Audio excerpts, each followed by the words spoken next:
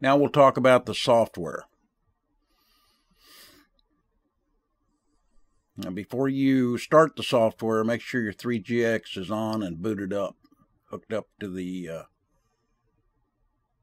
data port on the 3GX with the dongle. Did you say dongle? Mickey, please be quiet. I'm trying to do a video. As you go through these pages, these are the instructions. Uh, I've kind of condensed them and changed some of the grammar in the file that's on my website under the sports section 3GX.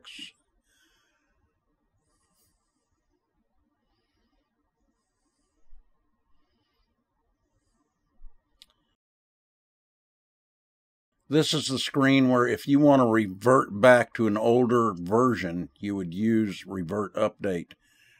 Don't download the old version and, and update it that way. And be sure that you remove the older software before you install the new software. Now here we're adjusting the flight condition control. We're going to take it from the default of 50 to 20.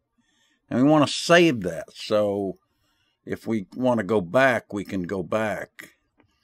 But we want to give it a mean this file. We want to give it a meaningful name, so we'll name it uh, flight condition control, and then put a uh,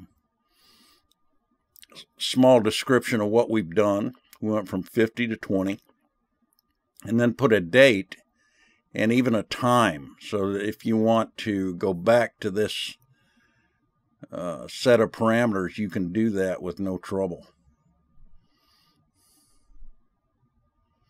And then write it to the 3GX and go do a test flight. See if you like it.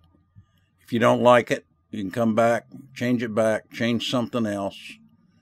And if you'll save these files, you can go back and forth as many times as you want. If you hover over these items, you'll see some notes that are pretty handy. All the parameters on this page can be adjusted on the 3GX. On the page before, you have to do that in the 3GX software.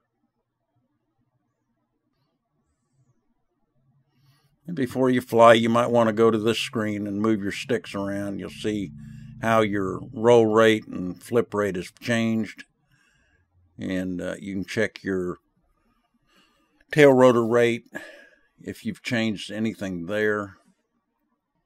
Now, initially, I like to go to this screen just to check to make sure that my rudder gain changes when I flip my switches.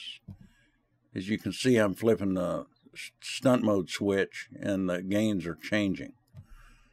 That's what you want to see if you have different gains in your different modes. I also notice my elevator reverse is now normal. If you were watching in the videos, I had it set to reverse. And I noticed that uh, my elevator, when I tilted the helicopter, it didn't move very much. That's a clue that something's wrong. So I went back and checked it and uh, put it back on reverse, and it worked real good. I'm going to go back to that first change. Software is a little clunky, but uh, it, it works pretty well.